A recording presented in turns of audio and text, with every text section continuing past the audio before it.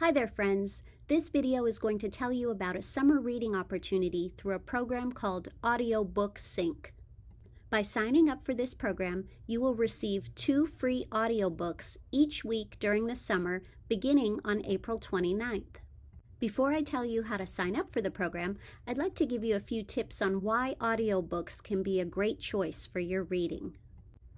Quality audiobooks not only can help you learn about great stories, they also expand your working vocabulary, teaching things that you don't already know. It models correct word pronunciation, pacing when reading, and the rhythms that stories can take. Listening to audiobooks can also expand your ability to understand and use some of the unfamiliar phrases in the English language, and it uses them in context, helping you understand how to use certain words correctly. Building stamina for reading is important, and listening to audiobooks can uh, build those active listening skills to help practice your ability to stay focused in an auditory way. They're a great alternative for people who struggle with visual literacy. If you find it really difficult to stay focused while reading text on a page, an audiobook can provide you the same experience in a different way. And it can provide privacy regarding your reading choices. When you have your headphones in, people don't know if you're listening to a book or to the latest popular song. All of these are great reasons why signing up for this program might be a good idea to see if listening to audiobooks is something you enjoy. So, even though there are a lot of different audiobooks available, in this particular program, you will receive two new titles each week beginning April 29th for a total of 28 new titles over the summer.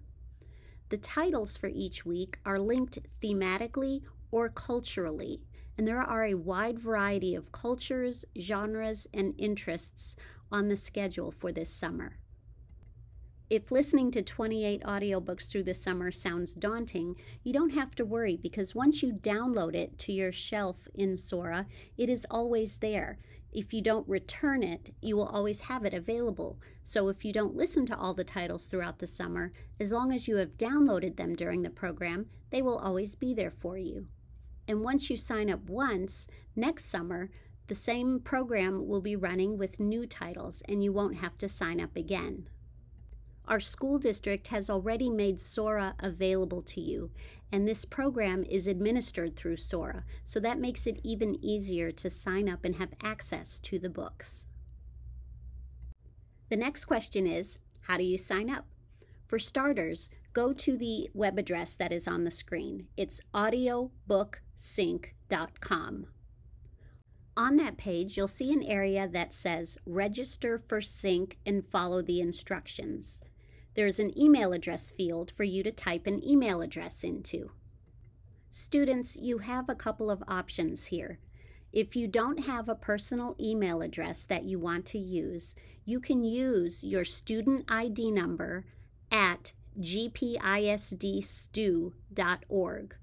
I know you don't get emails actually sent to this email address and you can't check that email address, but for this program, that doesn't matter. This field just needs an email address that is a valid email address in order to sign up. So it's totally okay to use your student ID at gpisdstu.org. So, for example, if my student ID was the number 123456, I would enter 123456 at gpisdstu.org. Then click the blue Register button. If you have a personal email address and you would like to use that, you are welcome to.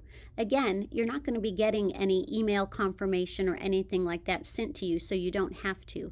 But if you do decide to use a personal email address, get your parents' permission first.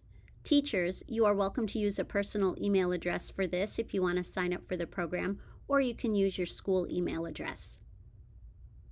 Once you click that blue register button, you will get a thank you screen. Because our school already has Sora available to us, you don't need to worry about the setup information that is following that thank you paragraph. Just ignore this, and we're going to go over to your iPad now and make sure you have the Sora app downloaded. Hopefully, you already have Sora on your iPad, but if not, you can find it in the self service app.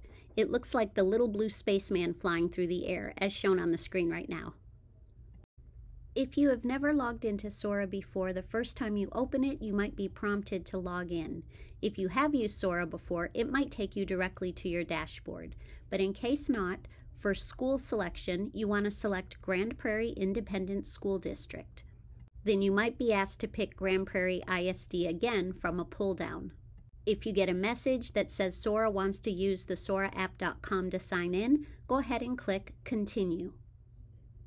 If you are prompted with a screen like this, use the same credentials that you use to log into Content Keeper or Clever or any other district site. Usually the username is your ID number, and then the password is your complex birthday password. Those steps should log you into the Sora dashboard. If for some reason that does not work, I suggest you contact your IMS or tech person on campus to get some help. Once you have logged in, click on the home screen in the lower left corner. Then you should see the hamburger or the three horizontal lines in the upper right corner. Click on the hamburger. Clicking on the hamburger will open a menu to the right, the vertical menu on the far right of the screen.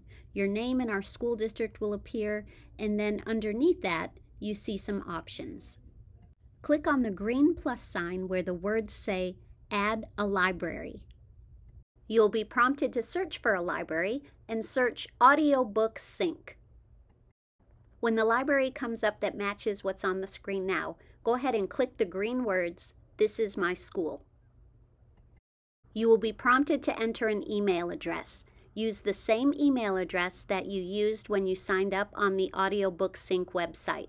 So if you used your student ID at gpisdstu.org, use that one. If you used a personal email address, then use that one. But once you enter that email address, you then will see the AudioSync library dashboard will come up.